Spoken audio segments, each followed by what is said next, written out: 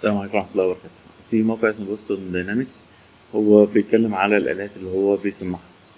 أو بيصنع آلات تقدر إنها تبقى موجودة في مواقع البناء بحيث إنها تساعدك في البناء بالذات الحاجات اللي يكون فيها خطر على العمال.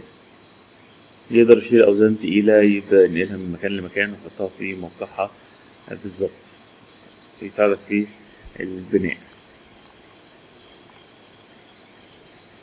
تعال نشوف الأكشن بتاعه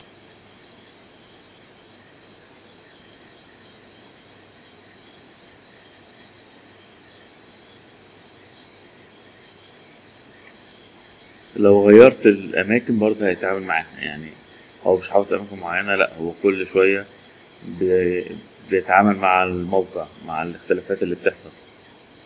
مش لازم تعيد برمجته إنه يمشي على أماكن معينة.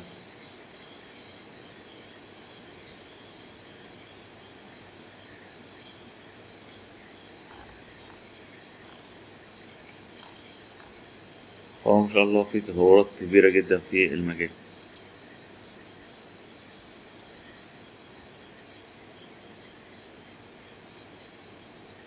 الشركة دي من الشركات الرائدة في الصناعة